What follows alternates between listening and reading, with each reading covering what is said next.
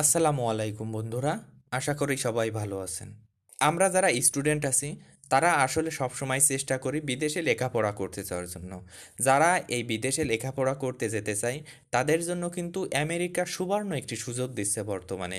Corona ভাইরাসের পর থেকেই কিন্তু প্রচুর পরিমাণ স্টুডেন্ট ভিসা হচ্ছে। এটা অকল্পনীয়। কেননা এর আগে এত পরিমাণ ভিসা কখনোই হয়নি।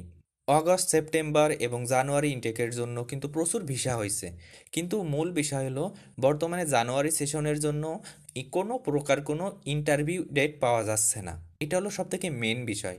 নেক্সট যে সেশনটি আসছে, সেটি হলো মে সেশন। এই মে সেশনের জন্য আসলে কেমন ভিসায় রেশিও হতে পারে, সেইটা নিয়েই কথা বলব। আমেরিকাতে যে তিনটি সেশন আছে, অগস্ট, সেপ্টেম্বর, এই দুই মাসের যে কোনো একটি এবং জানুয়ারি, তারপর আছে মে। এই তিনটি সেশনে আমরা আমেরিকাতে মূলত লেখাপড়া করতে যাই।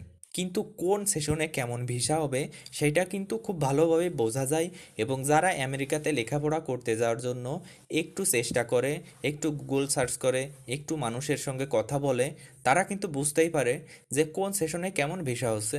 তাছাড়া কিন্তু প্রতি মাসের একটি চার্ট পাওয়া যায়, সেই চার্টে কোন মাসে কেমন ভিসা হচ্ছে সেটা কিন্তু পাওয়া যায়। আমাদের জন্য যে নেক্সট সেশন সেটি হলো মে সেশন এই মে সেশনে কেমন ভিসা হবে এইটা নিয়ে কিন্তু আমরা অনেকেই অনেক সময় উদ্বিগ্ন থাকি। কেননা গত মে সেশনে কিন্তু ভিসা অবস্থা খুবই খারাপ ছিল। খুবই খারাপ ছিল। এটা কিন্তু আসলেই স্বীকার করতে হবে। কেননা গত বছর থেকে যারা ট্রাই করছে বা একটু ইউএস এর ভিসা সম্পর্কে যারা একটু খোঁজ খবর নিচ্ছে, তারা কিন্তু জানে যে মে সেশনের জন্য ভিসা রেশিও খুব খারাপ ছিল। কিন্তু বর্তমানে কেমন হতে পারে?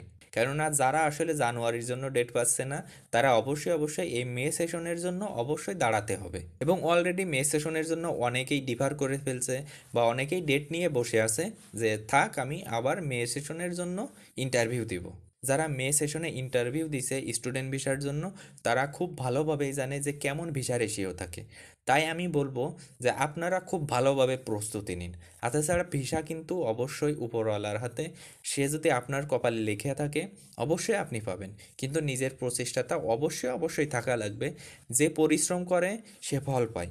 এটা কিন্তু মাথায় রাখতে হবে। তাছাড়া ভিসা রেশিও যখন আসলে খারাপ, তাহলে আপনাদের করণীয় কি? সেটা আমি একটু বলি। দেখুন, কিছু কথা কিন্তু অবশ্যই আমাদের মেনে নিতে হবে। তার ভিতর একটি বিষয় হলো, পৃথিবীর যে কোনো পাবলিক ইউনিভার্সিটির কিন্তু আলাদা প্রায়োরিটি থাকে। তাই আমি বলব, আপনারা যদি আমেরিকার পাবলিক যে কোনো একটি বিশ্ববিদ্যালয় থেকে আই টোয়েন্টি আনতে পারেন, সেটা হবে আপনার জন্য বেস্ট কেননা আপনারা তো অনেক সময় আছে। এই পাবলিক ভার্সিটিগুলো থেকে আপনারা যদি আই টোয়েন্টি আনতে পারেন, যেমন ক্যালিফোর্নিয়া স্টেট ইউনিভার্সিটি আছে রাইট স্টেট ইউনিভার্সিটি আছে, এমন অনেক ইউনিভার্সিটি আছে যে ইউনিভার্সিটিগুলোকে ভিসা অফিসারেরা আলাদা প্রায়োরিটি দিয়ে থাকে। আপনারা এই চেষ্টাটাই করুন। যেহেতু হাতে সময় আছে, আপনারা ভালো ইউনিভার্সিটি থেকে আই টোয়েন্টি আনার চেষ্টা করুন। আরেকটি গুরুত্বপূর্ণ বিষয় হলো দেখুন যারা মূলত ইএসএল প্রোগ্রামে যাচ্ছেন English as a second language এই প্রোগ্রামে যাচ্ছেন, আপনারা এই ভুলটি করবেন না। কেননা এই মুহূর্তে ডেট পাওয়া অসম্ভব বললেই চলে, বাকিটা আসলে ইউএস এম্বাসির উপর এবং আল্লাহর উপর নির্ভর করছে। কিন্তু আমি বলব যে আপনারা মেইন টেকের জন্য মোটামুটি একটি মানসিকতা তৈরি করুন এবং যারা ইএসএল প্রোগ্রামে যাচ্ছেন, তারা অবশ্যই অবশ্যই এই ভুলটা করবেন না। ইএসএল প্রোগ্রামে ভিসা হয় কিন্তু এত বেশি না। সবসময় চেষ্টা করুন মূল প্রোগ্রামে যাওয়ার জন্য। তার জন্য আপনারা কি করতে পারেন? বর্তমানে ডুয়োলিঙ্গো কিন্তু খুব সহজ একটি উপায়। আপনি যদি নিজেকে প্রস্তুত করেন যে আমি সাত দিনের ভিতর ডুয়োলিঙ্গো দিব এবং সার্টিফিকেট আনব।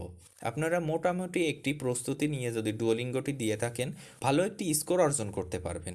এবং আমেরিকার অধিকাংশ বিশ্ববিদ্যালয় কিন্তু ডুয়োলিঙ্গো সাপোর্ট করে।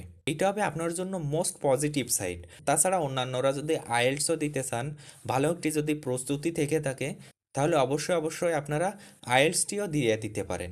এইটাই হবে আপনাদের জন্য সবথেকে পজিটিভ সাইড আরেকটি কথা বলব যে, যারা আসলে জানুয়ারি ইনটেকে খুব বেশি ভিসা হচ্ছে এই জন্য খুব দ্রুত আই টোয়েন্টি আনার জন্য কমিউনিটি কলেজ বেছে নিয়েছেন তারা যেহেতু ডেট পাচ্ছেন না, তাহলে অবশ্যই অবশ্যই মেইন টেকের জন্য প্রস্তুতি নিন এবং ভালো একটি বিশ্ববিদ্যালয় থেকে আই টোয়েন্টি আনার চেষ্টা করুন। আশা করি এই বিষয়গুলো আপনাদের খুবই উপকারে আসবে। আজকের ভিডিওটি আমি এখানেই শেষ করছি বন্ধুরা। আল্লাহ হাফেজ।